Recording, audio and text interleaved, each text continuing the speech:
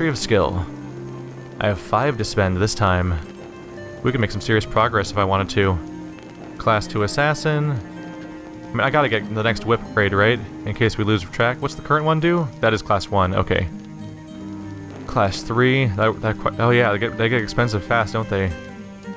So I have five to spend. So one, two, three, four, five. So I can't. I can't go all the way to class three whips, but there's not necessarily a reason to yet either. I should probably buy the next rank of whips so that I can just know that I'm ready to upgrade to them when I get the opportunity. And let's point get a let's get a point of dexterity, because that's what my attack scales with. Seems like a reasonable thing. And endurance affects my equip load, which and it also gives me access to two more dexterity points over here, which is good. So I think I want to go in that direction. Then I think endurance equip load is good because I, I, I think we're going to be... The fact that my equip load's green right now... Oh wait, no, that's just saying that it's to get bigger. Never mind. That's just shit, so showing what stat's to get better. But, uh... Yeah, it goes up by 1.5. Weird, it says it'll get, it says it'll give me one point, but actually goes up by 1.5. But anyway, uh... I think upgrading endurance is reasonable because equip load being low is probably a part of uh, endurance. That's probably part of your movement speed. I think. I think I've already seen hints of the idea. There's another point of dexterity right there, which is good. I think I've already gotten hints at the idea that uh that if you get too heavy, it could mess with your movement, just like in Dark Souls. All right, Toral's now level 13. Interesting. When you highlight these things, it says that you can put when you highlight these things, it says that you can get an extra point of dexterity. I wonder if you can invest more points into the same spot. Maybe I'll check check that out next time. Alright. Hello. New guy. Need a hand? Talk. I can bring you to any sanctuary you visited. Oh, cool. You just have to describe your destination to me and I can get us there.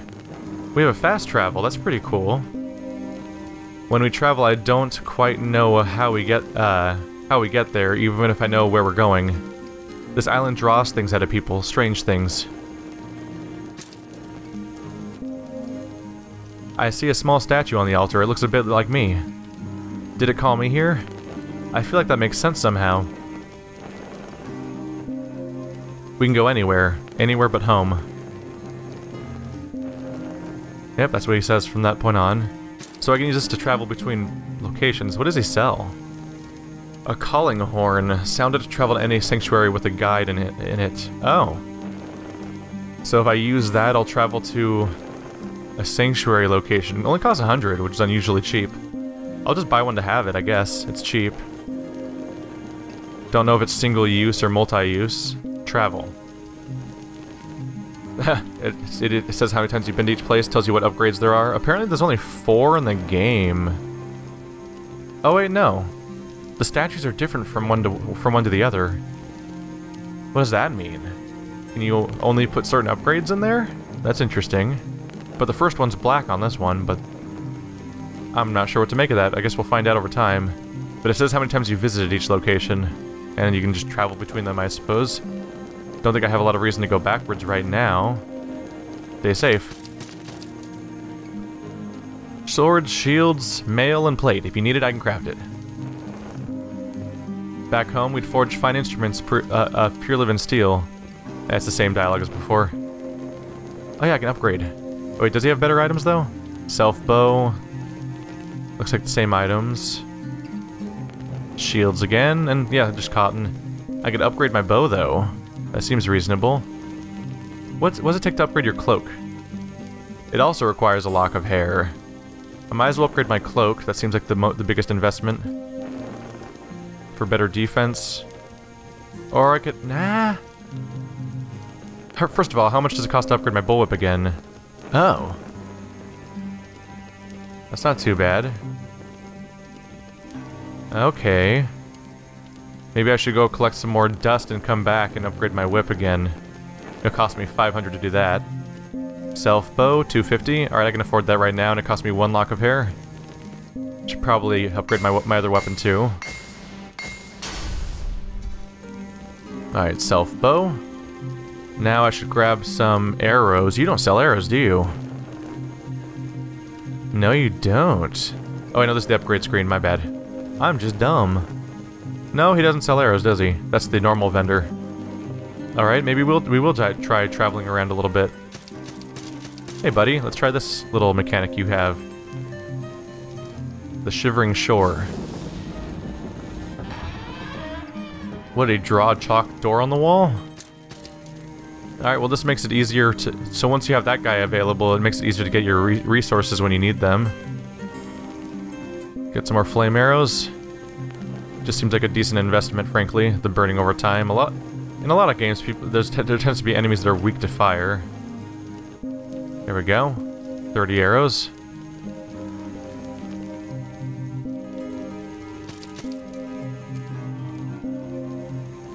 I also had normal arrows, I guess. Alright. Downside is I think there's no clean way to get back, is there? So I'm back at the beginning of the game now. Alright. Shouldn't be that big of a deal to try to get back, though. Let's see if I can get 500 uh, salt along the way. Oh, was I right? Is the knight gone? I don't see that knight. I think he's gone. Hey, buddy. Come on over here. Oh, shit. Yeah, they don't fall for their own trap, apparently. But hey, that, uh, yeah, that knight's gone.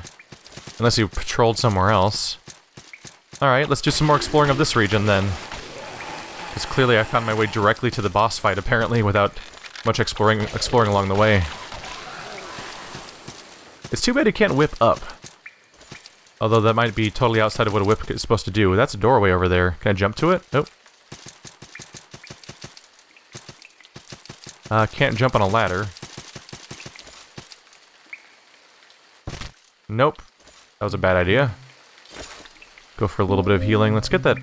that yeah, I'll keep the blessed page available in case I think I need it. I think that's more of an exit than an entrance up there. Then, oh, hello. Ow. Oh no. Oh no. Oh no. Oh no. That one. Oh! The trap. There was still a trap to activate after all that. Alright, well that went. That could have gone significantly better. So good job me for totally nailing it. By which I mean not at all nailing it. Hey buddy. What you, what you hiding up here, huh? Potato. Bell of Return. Can't jump up there, but there's an item. So I'm very much interested, interested in figuring out how to get up there. Man, these are sneaky. There's a little post right here that had a, a thread on it. The, the wires, that the trip wires, they're hard they're hard to spot. That's sneaky. Get the gold. What? can't help but wonder why there's there's gold to pick up from a uh, from crossbow traps. Potato. A potato from the earth offers no healing benefit, but can certainly be thrown at foes.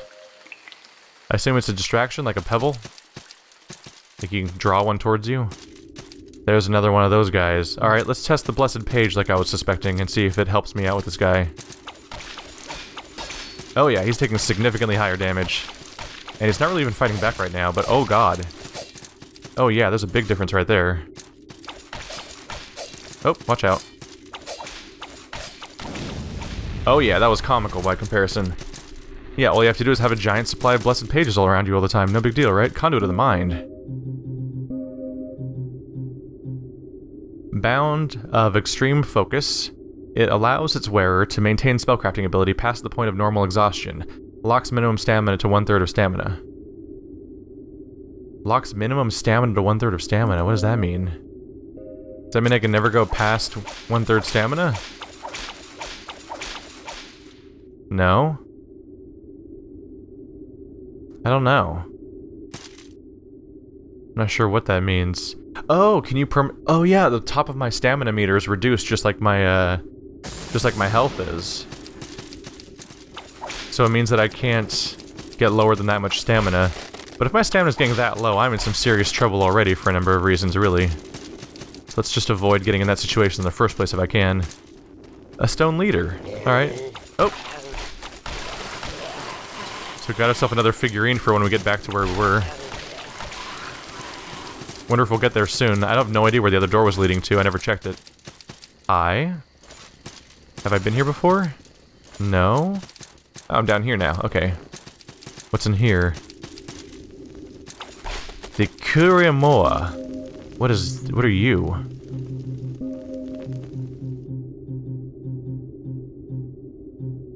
Oh, Kirimoa? A two-handed sword first carried by the Highland clans of Dor Isle.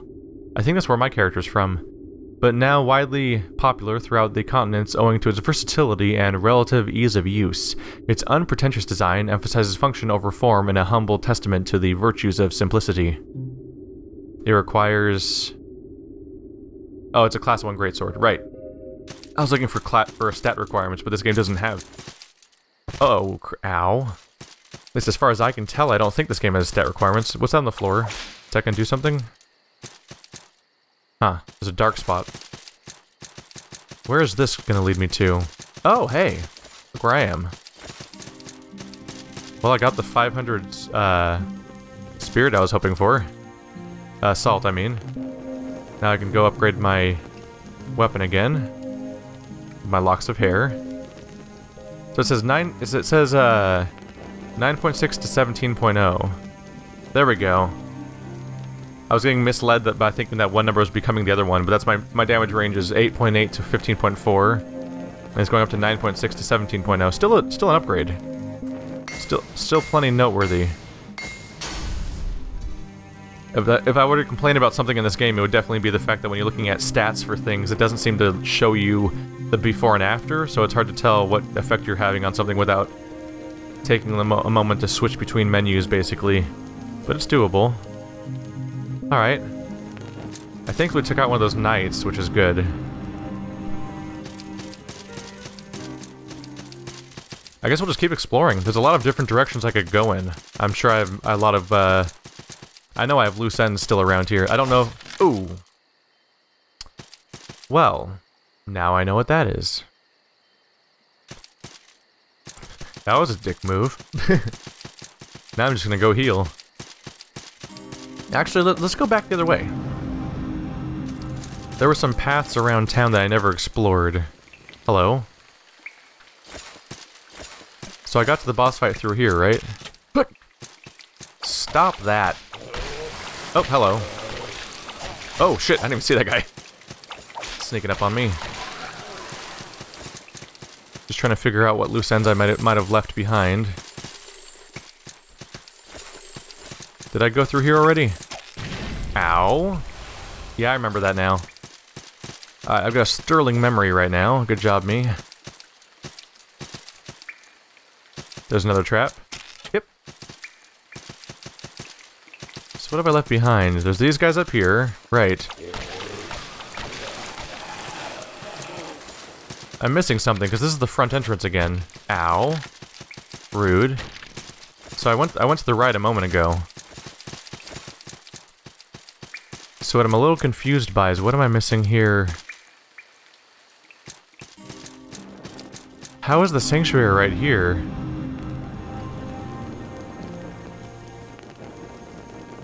Okay, sorry. I'm trying to figure out, did I... Did I lose track of the structure of this whole place, or did the game itself change its structure? Oh wow, 1200 to ascend next time, okay. I'm just trying to think, I fought the Queen of Smiles somewhere. When did that happen? I thought there was a whole castle on the left. Oh, that must have been... Okay, hello, trap. I guess that must have been up... That, must, that must have all been up here, then. My mistake. Let's jump past this real quick. Actually, trigger it real quick to kill that guy for some free souls. Yeah. Alright, back in here. Yeah, now I remember. Sorry, I just got disoriented. Ooh, good job, buddy. Proud of you. Ow. Ow. I apparently got a little too used to that guy, the idea of that guy spending time slamming the ground over and over again. Oh, crap. Crap, I didn't even see that guy. I gotta be really careful.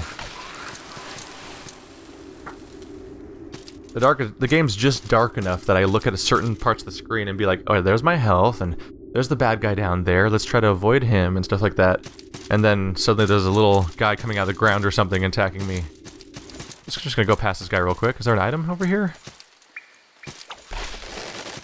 Anything cool? Come on, man, you can show me. Oh, that's how you get that, that this one. A stone cleric. Alright. It's a chance to collect sanctuary upgrades. I don't trust that uh, leap of faith. I think I would just fall to my doom if I went there. Let's see. I don't currently have any holy items, so it's going to be quite a ordeal to fight this guy. But I feel like I should take him out. Uh, maybe not. Ow, dick. Yeah, that's not... Fighting them without a holy item is dumb. Because he, he took comical amounts of damage when I had a holy item, and... and oh! It's taking no damage now. So clearly, if I want to kill that guy, I should just come back later. Because it's just going to be a chore. Alright, let's try to press forward then. Alright, let's call in our stone cleric. And our leader. What's the leader do? Uh, small stone figure of a, in the form of a spirited leader offered the stone leader to an altar to summon a leader to the sanctuary. Grants salt bonus. Alright. Did I have one of those before? I actually don't remember. I wonder, if there, if there is only four slots, I guess you're making a decision about how you want to customize these places that might have downsides if they give you more options elsewhere. Don't know how many options they give you, though. That might, those might just be the four that are local. Just gonna spend some salt real quick so I can level up. That's a cool tree icon that shows up. Okay, I can probably buy like dexterity or something. Yeah. Bam, more attack, just like that. And no more, not nearly as much salt to worry about accidentally losing. Hello, traveler. What have you done for us?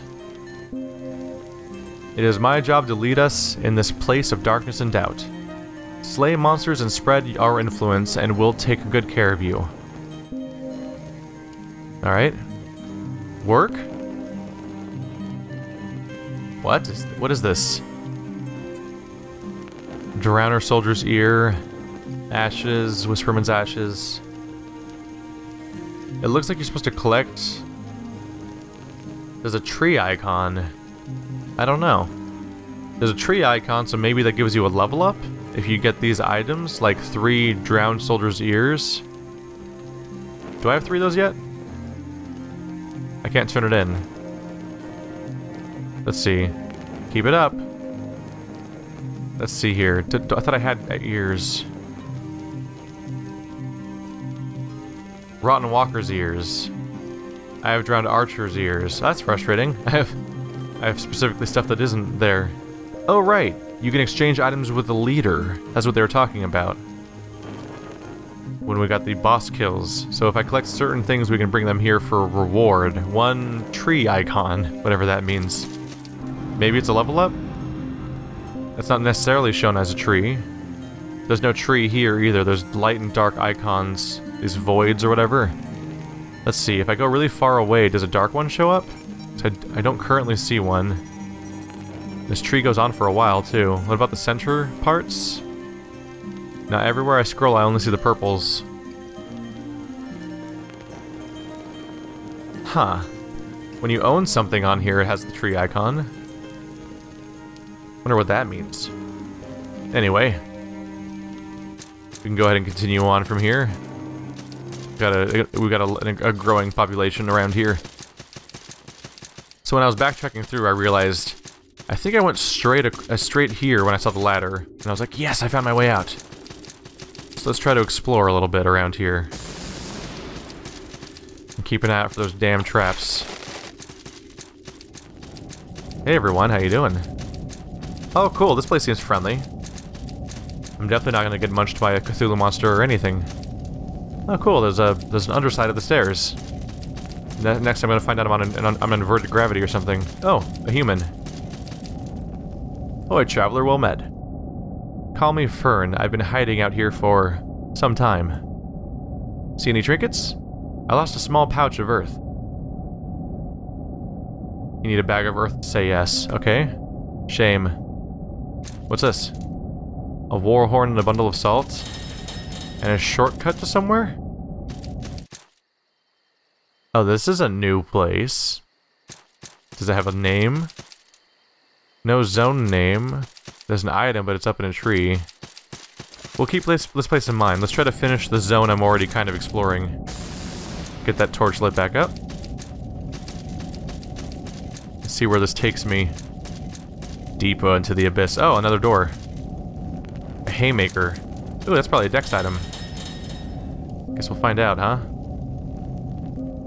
Can I use it? I cannot. Uh, haymaker. A tool intended for mowing grass and harvesting crops, but often modified for fighting by the destitute and the wicked alike. Distinct among agricultural devices as a universally recognized symbol of death, and indeed a capable makeshift weapon with its razor edge and un unmistakably fearsome silhouette. Oh, E scaling with strength and dexterity, so it's not like not quite the uh, whole Dark Souls approach to scythes with their really high uh, dexterity scaling. Pretty high attack, it looks like. We need to have Reaper as a weapon type. Might be good for uh, it might be good as a stat agnostic weapon. Got more salt, and there's a big enemy over there.